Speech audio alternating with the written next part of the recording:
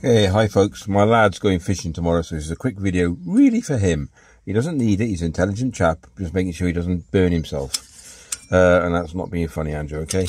Right. Okay, so I've just filled up. You can't see it. I don't think you can see that. Anyway, I've just filled up with Coleman's fuel using one of my... I got some spare fuel in one of these MSR fuel bottles for the many stoves that I have required over the years. I've had this one five, six, maybe more.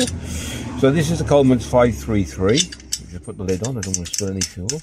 Make sure that secures down properly. Always check your rubbers are not broken or worn out. Okay. You need a good seal. You don't want any gas coming out of here and then igniting from the top over there because that's the last thing you need. Because putting one of these out if you're going to get any problems like that make sure you wet a cloth and then just chuck it over the whole lot.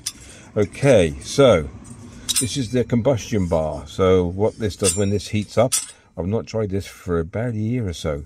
So when this heats up it turns the liquid gas into uh, evaporated gas and then you'll get the evaporation. That's what causes the thing anyway you'll see so to prime, you undo this a little bit, a couple of few turns, and then we prime.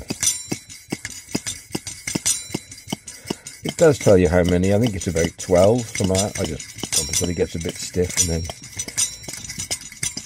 and then once you get to the point where you think you've done enough, push it in, just turn it back. It's not hard, it's just light, and then that locks it.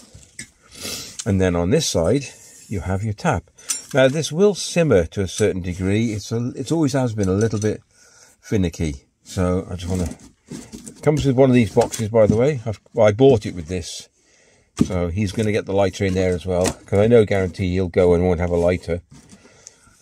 So the next thing to do, turn it on and light it.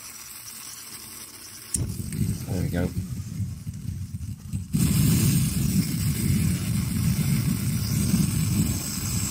Sometimes you will get, sometimes they flame up, but yeah, that's full. Oh, it's nice and warm now.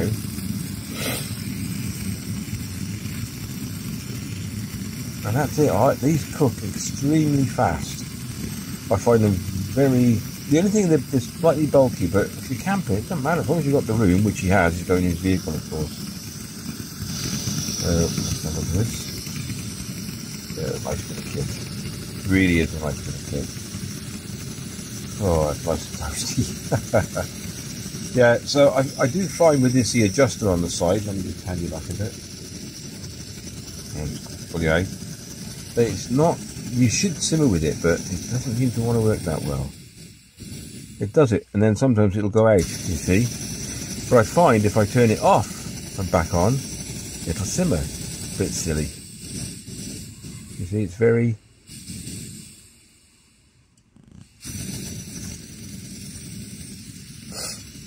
that's on full. It might need a bit of a service to be honest with you, because like I said, it's not. It's just going to turn him off. It's usually better than that. I definitely think it needs a bit of a service.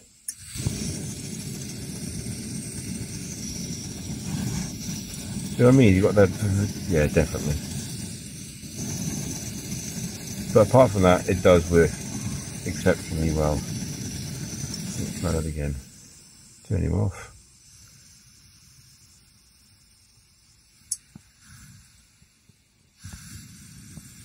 we might get a simmer now.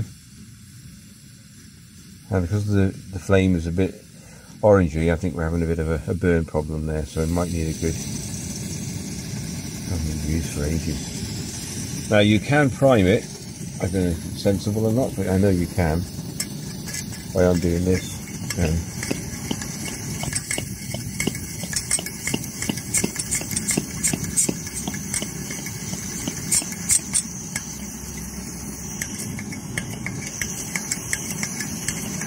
see,